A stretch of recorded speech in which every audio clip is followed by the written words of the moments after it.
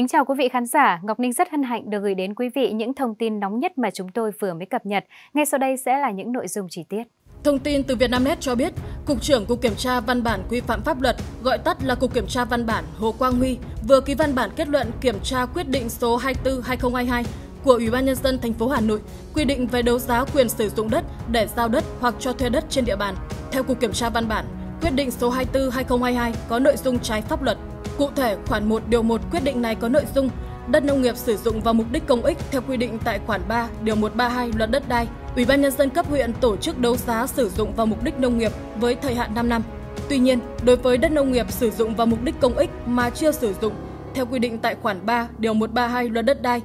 thì sẽ do Ủy ban nhân dân cấp xã cho hộ gia đình cá nhân tại địa phương thuê để sản xuất nông nghiệp, nuôi trồng thủy sản theo hình thức đấu giá để cho thuê. Thời hạn sử dụng đất với mỗi lần thuê không quá 5 năm. Chính vì vậy, quyết định của Ủy ban nhân dân thành phố Hà Nội giao thẩm quyền đấu giá đất nông nghiệp sử dụng vào mục đích công ích là chưa phù hợp với quy định tại Luật đất đai. Hơn nữa, tại khoản 2 điều 7 Luật đất đai năm 2013 quy định là người chịu trách nhiệm trước nhà nước đối với việc sử dụng đất nông nghiệp vào mục đích công ích.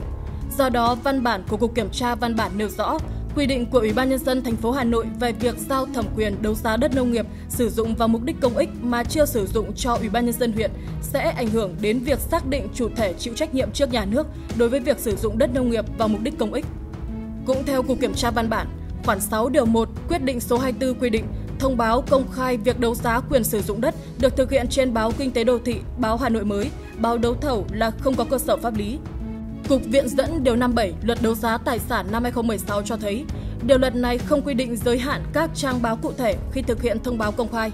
Về quy định nộp tiền đặt trước, quyết định của Hà Nội cũng bị Bộ Tư pháp đánh giá là chưa phù hợp với quy định tại Luật Đấu giá Tài sản năm 2016 khi không xác định chỉ trong trường hợp khoản tiền đặt trước có giá trị dưới 5 triệu đồng thì người đấu giá mới có thể nộp trực tiếp. Từ đó, Cục Kiểm tra văn bản kiến nghị Ủy ban nhân dân thành phố Hà Nội khẩn trương xử lý những nội dung trái pháp luật nêu trên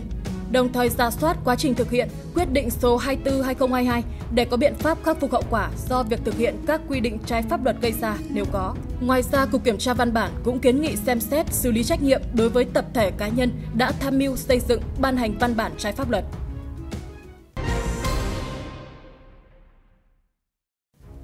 Trước đó vào tháng 4, Bộ Tư pháp cũng từng đề nghị Ủy ban nhân dân thành phố Hà Nội tự kiểm tra, xử lý công văn số 1685 ngày 22 tháng 3 năm 2022 của Sở Tài nguyên và Môi trường Hà Nội tạm dừng tách thửa đất vì không bảo đảm cơ sở pháp lý về nội dung và không thuộc thẩm quyền của Sở. Thông tin được cung cấp từ Vietnamnet. Cụ thể, Cục Kiểm tra văn bản quy phạm pháp luật, Bộ Tư pháp vừa có văn bản gửi Ủy ban nhân dân thành phố Hà Nội đề nghị tự kiểm tra, xử lý công văn số 1685 của Sở Tài nguyên và Môi trường Hà Nội về việc đẩy mạnh công tác quản lý nhà nước trong thực hiện thủ tục tách thửa đất, hợp thửa. Theo đó, tại công văn 1685 có nội dung đề nghị Ủy ban nhân dân các quận, huyện, thị xã tạm dừng tiếp nhận giải quyết thủ tục hành chính liên quan đến việc chia tách thửa đất đối với đất nông nghiệp, thửa đất có đất ở và đất nông nghiệp trong cùng thửa đất, thửa đất phi nông nghiệp không phải là đất ở. Theo Cục Kiểm tra Văn bản quy phạm pháp luật, việc tách thửa là quyền của người sử dụng đất khi áp dụng đầy đủ các điều kiện và được thực hiện theo trình tự, thủ tục do pháp luật quy định. Văn bản cũng nêu rõ, việc tạm dừng tiếp nhận, giải quyết thủ tục hành chính liên quan đến việc chia tách thửa đất được đề cập tại công văn số 1685 không đảm bảo cơ sở pháp lý về nội dung và không thuộc thẩm quyền của Sở Tài nguyên và Môi trường, đồng thời có thể ảnh hưởng đến quyền lợi ích hợp pháp của người sử dụng đất. Cũng theo cơ quan này, công văn 1685 là văn bản hành chính có chứa quy phạm pháp luật nên việc ban hành văn bản này là hành vi bị nghiêm cấm, quy định tại khoản 2, điều 14 Luật ban hành văn bản quy phạm pháp luật năm 2015 sửa đổi bổ sung năm 2020.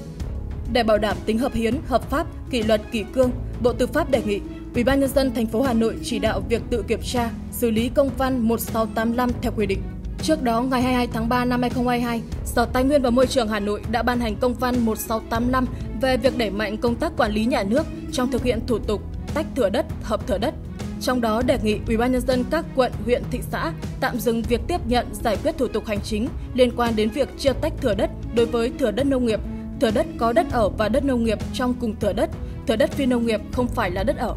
Văn bản này được ban hành trong bối cảnh Sở Tài nguyên và Môi trường nhận được phản ánh của một số địa phương, người dân doanh nghiệp, phương tiện thông tin đại chúng về việc phân lô chia tách thửa đất, san hạ đất để xây dựng hạ tầng đường giao thông, vi phạm luật đất đai, trật tự xây dựng trên địa bàn một số quận, huyện, thị xã.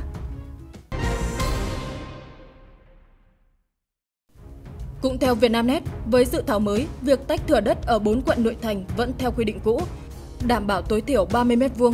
8 quận còn lại và thị xã Tây Sơn được đề xuất nâng lên 40 m2. Cụ thể, Hà Nội đang lấy ý kiến về dự thảo quy định điều kiện tách thửa, hợp thửa và diện tích, kích thước tối thiểu được tách đối với từng loại đất trên địa bàn. Theo đó được biết, dự thảo quy định điều kiện tách thửa đối với thửa đất ở, thửa đất có đất ở và đất nông nghiệp trong cùng thửa đất. Với các phường thuộc 4 quận nội thành, Hoàn Kiếm, Ba Đình, Đống Đa và Hai Bà Trưng, diện tích đất tối thiểu được tách không nhỏ hơn 30 m2. Với các phường thuộc thị xã Sơn Tây và 8 quận còn lại, Hà Đông, Bắc Từ Liêm, Nam Từ Liêm, Thanh Xuân, Long Biên, Hoàng Mai, Cầu Giấy, Tây Hồ, thửa đất hình thành từ việc tách không nhỏ hơn 40 m2.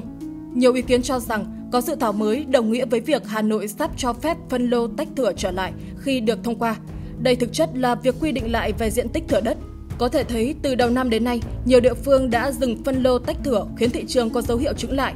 Việc Hà Nội sắp cho phân lô tách thửa được cho là tín hiệu vui của thị trường, đáp ứng nhu cầu về nhà ở của người dân trong khi nguồn cung nhà đất khan hàng, giá chung cư tăng mạnh thời gian qua. Tuy nhiên, cũng không ít ý kiến cho rằng với quy định đưa ra tại dự thảo 8 quận Hà Đông, Bắc Từ Liêm, Nam Từ Liêm, Thanh Xuân, Long Biên, Hoàng Mai, Cầu Giấy, Tây Hồ và thị xã Sơn Tây được đề xuất thửa đất nâng lên 40 m2 mới được tách thửa. Giá nhà sẽ bị đẩy lên cao khiến nhiều người khó khăn trong việc mua nhà trong thời gian tới. Một nhà đầu tư chuyên về đất thổ cư cho biết, phân khúc nhà ở 30 m2 luôn là hàng được săn đón tại các quận ở Hà Nội. Nhiều người thường tìm mua mặt hàng này với giá thường từ 2 đến 3 tỷ đồng trên căn.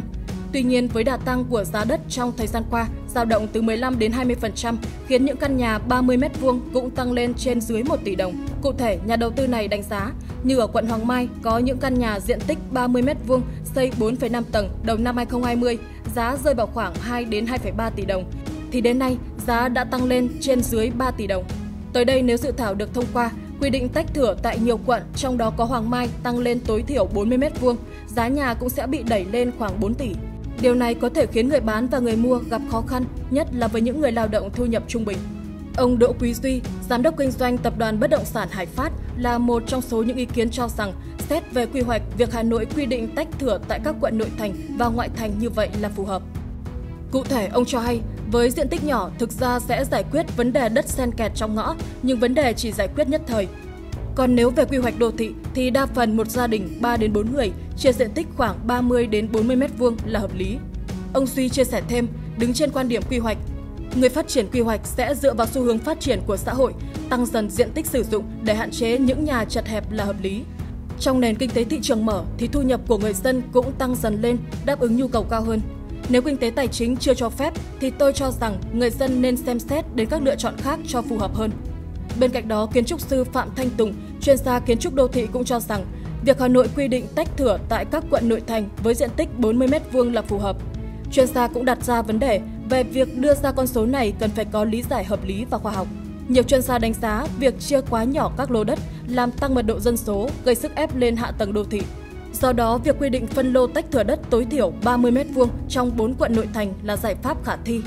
Cùng với đó, quy định này sẽ góp phần hạn chế những thửa đất không đủ điều kiện về diện tích nhưng vẫn được xây dựng nhà ở, hạn chế công trình siêu mỏng, siêu méo trong đô thị. Theo số liệu tổng hợp báo cáo của Sở Xây dựng Hà Nội, toàn thành phố vẫn còn 130 công trình siêu mỏng, siêu méo tồn tại, phát sinh từ giai đoạn sau năm 2005 và trước năm 2019 vẫn chưa thể xử lý. Đây không phải là vấn đề mới và cũng đã được dư luận lên tiếng, nhưng cho đến nay, cơ quan quản lý nhà nước vẫn chưa tìm ra được giải pháp hữu hiệu để giải quyết triệt để. Theo kiến trúc sư Phạm Thanh Tùng, việc quy định diện tích tối thiểu tách thửa chỉ giải quyết phần ngọn của vấn nạn nhà siêu mỏng siêu méo. Do đó, theo kiến trúc sư, trước hết về quy hoạch phải có tầm nhìn xa, đồng thời cần phân cấp cho chính quyền địa phương như cấp quận, cấp phường quản lý cả mặt kiến trúc, xây dựng theo quy hoạch của thành phố đã phê duyệt. Bên cạnh đó, chuyên gia cũng cho rằng việc quy định quản lý về tách thửa phải định tính định lượng, cụ thể phải phân loại và xác định rõ đối tượng có nhu cầu tách thửa thật sự. Tách thửa phải coi như chính sách nhà ở cho người dân địa phương có nhu cầu để ở thực sự. Những thông tin vừa rồi cũng đã khép lại chương trình của chúng tôi. Cảm ơn các bạn đã quan tâm theo dõi và đừng quên chúng tôi luôn cập nhật rất nhiều thông tin bổ ích với tất cả các khung giờ trong ngày. Xin kính chào và hẹn gặp lại.